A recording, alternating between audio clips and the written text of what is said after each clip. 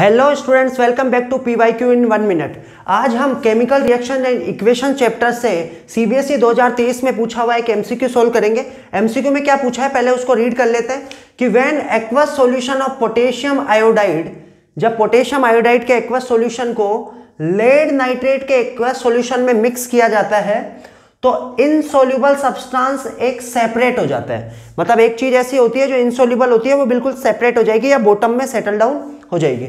हमारे को chemical reaction बतानी है कि क्या रिएक्शन होगी। तो सबसे पहले तो पोटेशियम आयोडाइड का जो फॉर्मूला होता है, वो होता है के आई लेड नाइट्रेट का जो फॉर्मूला होता है पी बी एनओ थ्री का ट्वाइस सबसे पहले तो इतना देखते ही हमारे को दो ऑप्शन को तो रिजेक्ट कर देना, देखो। ये तो लेड नाइट्रेट का फॉर्मूला होता ही नहीं है तो ये तो हो ही नहीं सकता। ऐसे ही लेड नाइट्रेट का फॉर्मूला ये भी नहीं हो सकता। तो ये दो ऑप्शन तो कभी हो ही नहीं सकते। अब बचे ये दो ऑप्शन। जब इन दोनों को आपस में रिएक्ट करवाते हैं तो देखो, यहाँ पोटेशियम है और यहाँ पे NO3 है। तो ये आपस में एक्सचेंज होके क्या बनाएँगे? NO3 बनाएँगे। और ये जो PB है वो I के साथ जाएगा। तो PbI2 बनाता है। PbI2 क्यों बनाता है? इसका रीजन भी देखो।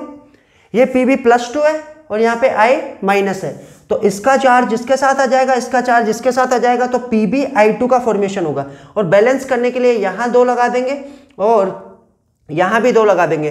तो ऑप्शन बी हमारा बिल्कुल करेक्ट ऑप्शन हो जाएगा। ये एमसीक्यू पूछा हुआ था। आई होप ये चीज़ आप लोगों को समझ में आ गई होगी। इस चीज़ में एक और चीज़ ध्यान रखना कि ये जो पी बी आई टू आ रहा है, ये एक येलो कलर का क्या होता है? प्रिसिपिटेट बनता है, जो कि बॉटम में क्या हो जाता है? सेटल डाउन हो जाता है। इसलिए इस रिएक्शन को डबल डिस्प्लेसमेंट रिएक्शन या प्रिसिपिटेशन रिएक्शन भी बोला जाता है।